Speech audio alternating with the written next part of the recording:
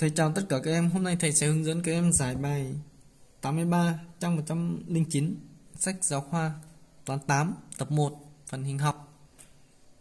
Nội dung bài 83 như sau. Các câu sau đúng hay sai? A. Tứ giác có hai đường chéo vuông góc với nhau là hình thoi. B. Tứ giác có hai đường chéo vuông góc với nhau tại trung điểm của mỗi đường là hình thoi. C Hình thoi là tứ giác có tất cả các cạnh bằng nhau. D. Hình chữ nhật có hai đường chéo bằng nhau là hình vuông. E. Hình chữ nhật có hai đường chéo vuông góc với nhau là hình vuông. Vậy thì bây giờ chúng ta sẽ cùng nhau đi phân tích từng ý một. Đầu tiên thì để chúng ta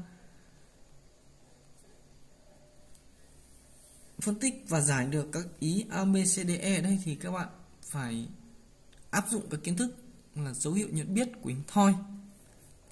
Chúng ta biết rằng là tứ giác có bốn cạnh bằng nhau là hình thoi. Hình bình hành mà có hai đường chéo vuông góc với nhau thì là hình thoi. Vậy còn dấu hiệu nhận biết của hình vuông thì là hình thoi có hai đường chéo bằng nhau là hình vuông. Và hình chữ nhật có hai đường chéo vuông góc với nhau là hình vuông. Vậy ý A, Tứ giác có hai đường chéo vuông góc với nhau là hình thoi. Vậy thì đối với ý này thì chúng ta thấy rằng là à chưa chắc. Đúng chưa? Thế thì trong cái trường hợp mà hai đường chéo vuông góc với nhau, nhưng mà nó không cắt nhau tại trung điểm, thì thì nó không thể là hình thoi được, đúng chưa? Vậy thì ý A chắc chắn chúng ta thấy rằng là à câu A sai.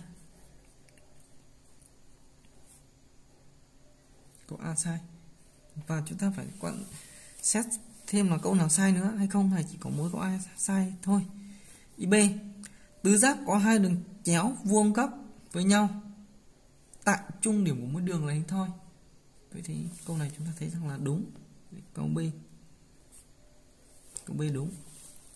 Câu C, hình thoi là tứ giác có tất cả các cạnh bằng nhau đúng rồi theo định nghĩa của hình thoi thì là là tứ giác có bốn cạnh bằng nhau là hình thoi nhận vậy IC C cũng đúng. Tiếp theo ý D. Hình chữ nhật có hai đường chéo bằng nhau là hình vuông.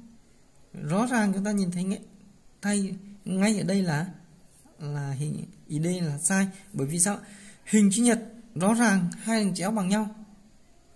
Đúng chưa mà hình chữ nhật để trở thành hình vuông thì hai đường chéo nó phải vuông góc với nhau. Hoặc là đường chéo nó là đường phân giác của một góc có phải không ạ? Vậy thì nó thấy ý D là sai. Tiếp theo chúng ta xét nốt ý E hình chữ nhật có hai đường chéo vuông góc với nhau là hình vuông. Đúng rồi. Vậy chúng ta suy được câu A và câu D là sai. Câu B, C, E là đúng. Như vậy là thầy vừa hướng dẫn các em giải xong bài 83 trang 109 sách giáo khoa, toàn 8 tập 1 phần hình học. Thầy chào tất cả các em.